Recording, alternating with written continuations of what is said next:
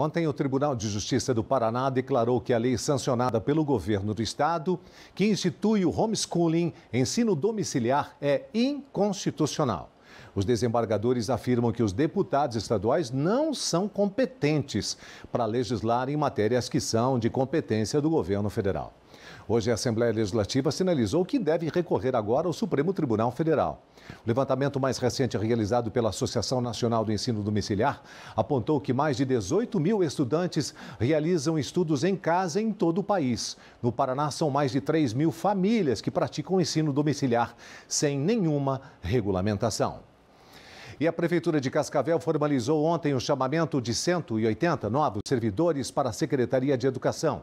Em novembro do ano passado, o município iniciou o chamamento de candidatos aprovados em concurso e teste seletivo para assumir as funções, se antecipando ao início do ano letivo, que começou em fevereiro.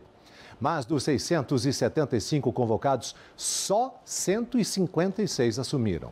No dia 4 de abril, alguns servidores que aderiram devem iniciar os trabalhos. A expectativa da secretaria agora é que, se todos os convocados se apresentarem, a educação integral possa ser retomada em mais escolas, já que, por conta da falta de servidores, apenas muitas turmas ainda não estão atendendo a modalidade em Cascavel. Imagine poder fazer o teste Covid-19 em casa. Isso já é possível aqui em Cascavel. Farmácias começaram a receber os autotestes. O autoteste Covid já tem a embalagem explicativa, até a cor da caixa ajuda na informação. A farmacêutica vai explicar passo a passo de como realizar o teste em casa. O swab vai ser inserido mais ou menos 2,5 centímetros e meio na narina. É mais ou menos esse tanto aqui. Pode inserir em uma narina só, gira 10 vezes para fazer a coleta, para ter certeza que vai pegar uma amostra boa o suficiente. Coloca ele de volta aqui no tubinho. Pode girar ele ali dentro, é um tubo flexível, pode apertar para ter certeza que vai extrair bem o que tiver aqui de amostra. Fecha ele, ele tem uma pontinha, quatro gotinhas no local da placa que está indicado a amostra. E aguarda 15 minutos. Aí aqui saindo uma linha, que é a linha de controle, ela é a linha obrigatória, ela tem que aparecer sempre, tanto no positivo quanto no negativo. Se ela não aparecer, é um teste inválido. E aparecendo duas linhas aqui, na linha, uma na linha de controle e uma na linha de teste, indicam um positivo. O custo do kit é de R$ 59,90 e tem taxa alta de confiabilidade. Lembrando que ao confirmar Covid é preciso buscar o serviço de saúde e seguir todos os protocolos sanitários. E agora vamos às oportunidades do mercado de trabalho. Na Agência do Trabalhador de Cascavel, são 650 vagas disponíveis hoje e nós separamos algumas para você. Auxiliar de cobrança, auxiliar de confeiteiro, auxiliar de encanador, auxiliar de laboratório, auxiliar de marceneiro, fiscal de caixa, também vaga em Cascavel para operador de betoneira, operador de câmera de segurança. Precisa ter o curso de técnico em segurança no trabalho ou bombeiro civil, operador de grua e trabalhador rural. Em Toledo também não faltam ofertas no mercado de trabalho, viu? E a gente separou algumas das oportunidades disponíveis para você em Toledo. Analista em segurança da informação, aplicador de isolante térmico, auxiliar de desenhista projetista de eletricidade, balanceiro, classificador de grãos, desenhista de páginas da internet, web designer, fiscal de prevenção de perdas, instalador de painéis, fachadas, mecânico de manutenção de máquinas agrícolas, técnico de apoio ao usuário usuário de informática e técnico em eletromecânica. Um levantamento feito pelo Sebrae apontou que, mesmo durante a pandemia, no ano passado, muita gente resolveu empreender no Paraná. Quem diria que um bolo de banana e canela se tornaria uma empresa?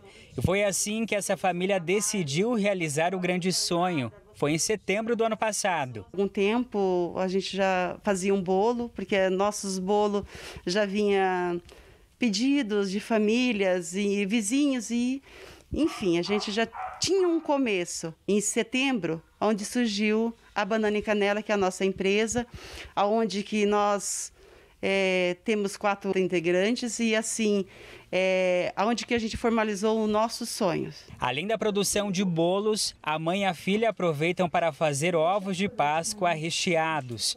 Carla pesquisou muito antes de empreender, estudou e, além de pôr a mão na massa, cuida das vendas. Quando a gente abriu, lá antes da gente formalizar a Banana em Canela, eu falava, mãe, eu quero ser o comercial, eu quero fazer a venda. A gente tem a página no Facebook, tem a página no Instagram, onde que eu que comando tudo. Então, assim, é algo simples, mas prático, então que o cliente possa estar atendendo. A Madalena e a Carla não foram as únicas a abrir o próprio negócio aqui no Paraná. Isso porque um levantamento realizado pelo Sebrae aqui no estado apontou que mais de 265 mil micro e pequenas empresas foram abertas em todo o estado em 2021. Isso se deu muito em razão da crise, da pandemia. Então, várias pessoas que procuraram o Sebrae, inclusive, é, trouxeram situações de abrir uma empresa para terem uma renda complementar ou mesmo por uma situação de desemprego e precisa, né, por necessidade, empreender para ter essa renda.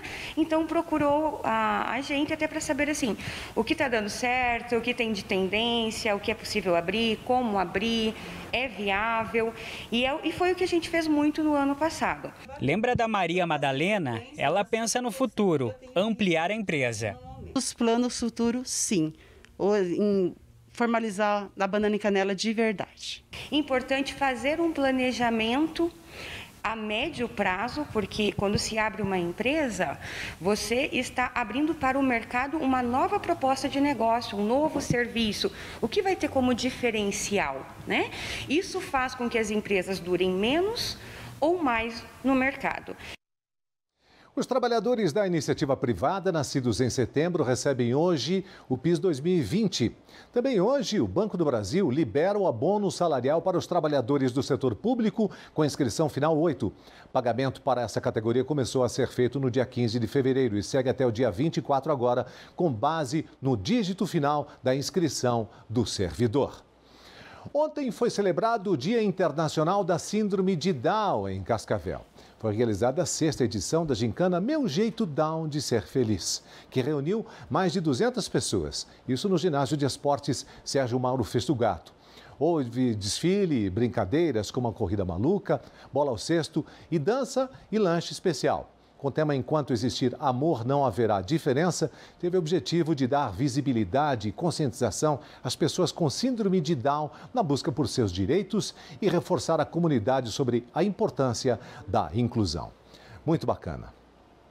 E assim nós colocamos ponto final na edição de hoje do Jornal Tarobá. Muito obrigado a você pela companhia. Fique aqui. Já já tem a Thaisa Quizel com Tarobá Esporte.